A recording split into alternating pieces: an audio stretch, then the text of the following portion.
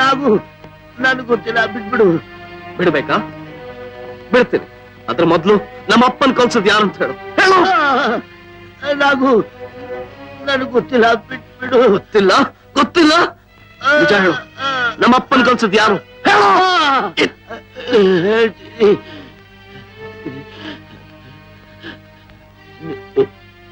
ನಿಮ್ ನಿಮ್ಮಪ್ಪನ್ನ ಕೊಲ್ಸಿದ್ದು ನಾನೇ ನಾನೇ. ಬಿಟ್ಬಿಡ್ನಾಗು ಬಿಟ್ಬಿಡು.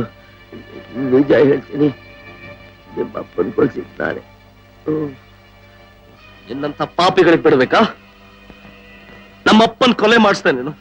ನಮ್ಮನ್ನ ಅವಮಾನ ಮಾಡಿಸ್ತೇನೆ ನೀನು. ನಿನ್ನಂತ ಪಾಪಿಗಳಿಗೆ ಪ್ರಪಂಚದಲ್ಲಿ ಬದುಕಬಾರ್ದು. ಬದುಕಬಾರ್ದು!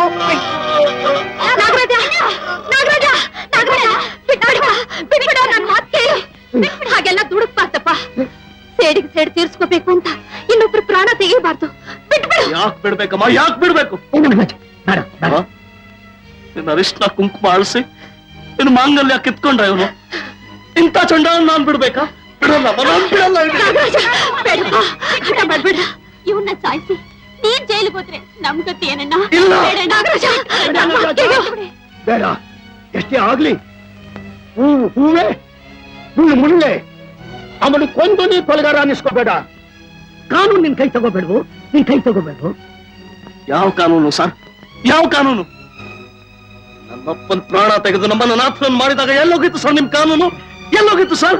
ನಾನ್ ಬಿಡಲ್ಲ ಇವರಿಗೆ ನಿಮ್ ಬಿಡು ನಿನ್ ತಾಯಿ ಕುಂಕುಮ ಅಳಿಸ್ತೋನ್ ಮೇಲೆ ಸೇಫ್ ನೀನ್ ಅವನ ಕೊಲೆ ಮಾಡಿ ಜೈಲ್ಗೆ ಹೋಗ್ಬೇಕು ಅಂತ ಇದೀಯ ಬೇಡ ನಾಗು. ನೀನೇನಾದ್ರೂ ಜೈಲ್ಗೆ ಹೋಗ್ಬಿಟ್ರೆ ನಾಳೆ ನನ್ ಕುಂಕುಮ ಗತಿ ಏನು ಅಂತ ಯೋಚನೆ ಮಾಡಿದ್ಯಾ ಬೇಡ ಬೇಡ. ಯಾರು ಮಾತ್ ಬೇಕಾಗಿಲ್ಲ? ನನ್ಗೆ ಬೇಕಾಗಿರೋದು ನನ್ ಸೇಡು. ಸೇಡು.